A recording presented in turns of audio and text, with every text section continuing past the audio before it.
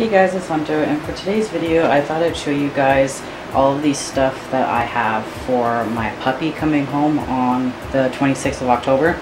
So over the past few months, I've been buying a whole bunch of necessary products and everything that I need for my dog. So I thought I'd just do like a puppy haul video for you guys to show you all like what I have. So yeah,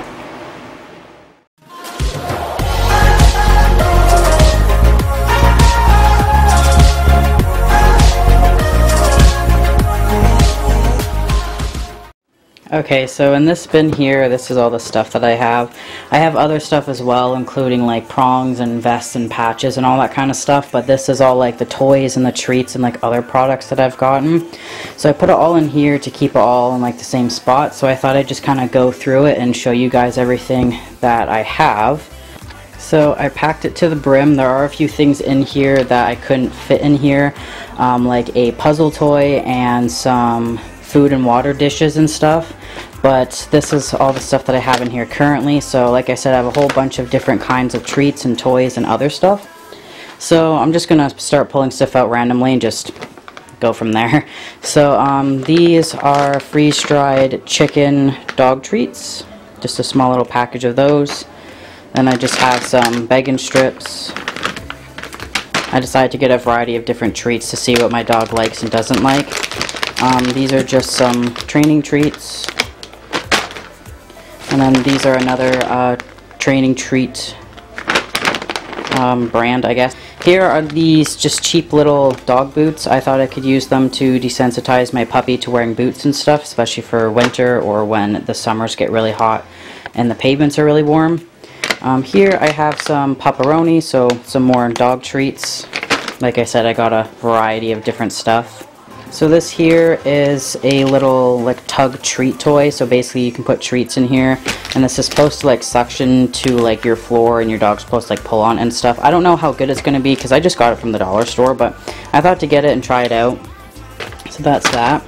Here I have another just cheap little uh, 15 foot training lead.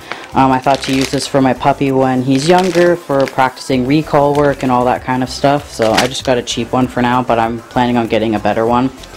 Um, so I have a whole variety of like different collars and stuff. So this one is a Toronto Maple Leafs uh, collar. It is a large. I just liked how it looked. I don't actually watch the Leafs or anything. I just thought it looked cool, so I thought I'd get that.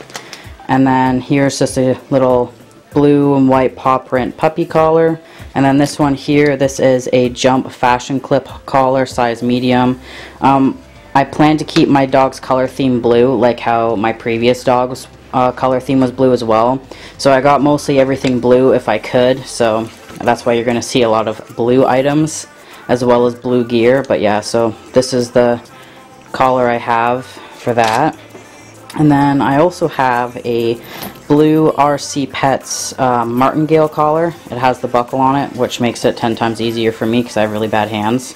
Next I have is this LED light up collar, so it glows in the darks, which is great for night walks and stuff. it, it is a medium size. Then I have this matching leash, also from Jump. It is just a Jump dog leash, so it's blue. And then I attached a poo bag holder on the end because I'm terrible at remembering to bring poo bags, so those things save my life. So again, another blue leash to match our blue theme.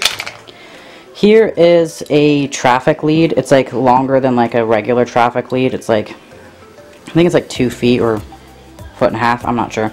Um, but I just have this. I want to get like a, another one, like a shorter one. Then I have a gentle leader. So I'm pretty sure it's a size large, but I have this gentle leader. And like I said, I also have um, a Herm Sprenger prong collar as well. It's just not in the bin. Here I have are these two little collar slips. Um, so they just slide onto like a collar or like a leash or something. So this one says do not pet and this one says training. So I thought those would come in handy for training outings or anything like that. Then I have another RC Pets products um, product. this is uh, the treat pouch I got, so it has like a little pocket here for poop bags, and then obviously the treats go in there, and then that's my receipt. So I've never used a treat pouch before, so I was really excited to get one this time around, so I'm glad I have that. Now this here, this is my clicker. It's just, I believe it's Star Mark. Um, I just got it at my local pet store and it has like a little um, rubber elastic wrist thingy. I don't know what it's called. Wristband, I guess. Um, yeah, that's my clicker. So, there's that. So next I'm going to be moving on to toys and stuff. So I just have a variety of different kind of toys. Um, this is just kind of like a rubbery toy where you can put stuff inside. I tried to get a variety of different toys, like soft toys and hard toys and different textured toys for different kinds of like stimulation and all that kind of stuff. This is just a little soft toy with a squeaker in it. And I have a little alligator toy. I have this football. It squeaks, so that's cool. Then I have this little frog looking thing which has different rubbery textures on it and stuff. Then I have this little bone. I have this rope tennis ball tug toy. I have another tug toy. this kind of like plastic uh, boomerang squeaky dog toy. Apparently it's maximum durability, but we all know that's a lie. I have this little bear, which has different plastic textures and different sounds to it. Then I have a treat, a twist treat dispenser. It says it's for small dogs, but I'm sure it'll work just fine, so there's that. Then I have this little weird sounding blue ball, which I thought would be fun. Then I have a Kong Core Strength uh, Chew Bone. It's really, really, really tough. And it's got a whole bunch of different textures on it. And then the classic Kong. Can't go wrong with that. Then I have this little dog toy, but it's kind of like very flimsy, so I'm not really sure if I'll actually use it, but I have it in there just in case I choose to use it, but I probably won't. And I have this.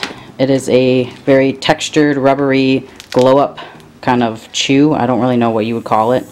Um, I have no idea. But like I said, it glows up. Kind of see it. so there's that. Then I have a dental dog toy. Blue, of course. And then I have a chill bone, so you can fill it up with water and freeze it, and it's great for hot days and helps keep your dog cool, and I thought it could be something good for teething as well. And then I have, of course, a Nylabone for soft teething puppies, but obviously labs can be power chewers, so I'm going to get more of these. That's just the only one I have at the moment. And then lastly, in the bin, I have this giant squeaky dog llama giraffe thing. I don't know what it is, but yeah, there's that. So that is everything I have in my bin of puppy supplies. So I got a quite a good selection of stuff here, which is great. Other things I have here is this crate. Obviously, it just has some boxes in it for now, but I have a mat and a blanket in there, and it's like a like a 42 inch crate, so it's a nice big crate, and I have the divider panel right there. And some of the last few things I have here, these are the bowls that I have. So this is just a standard white bowl, and there's nothing special to it. Then I have two of these. So they're just the same like silver dishes. Obviously I'm going to clean them first. And then I have this little blue paw print slow feeder bowl. And then I have a blue dog food scoop cup thing there. And then this is the Seek and Find puzzle treat toy that I have. So you just put little toys or food, or toys, treats or food in these things here. And then they have to figure out how to pick them up and get the to toy treat out. But yeah, so that's all of the stuff that I can think of at the moment that I have for my puppy. Obviously, I am going to be getting a few more things as the time grows near, but as of right now, this is all the stuff that I have, and then, of course, I have other things like gear, patches, vests, my prong collar, and stuff like that.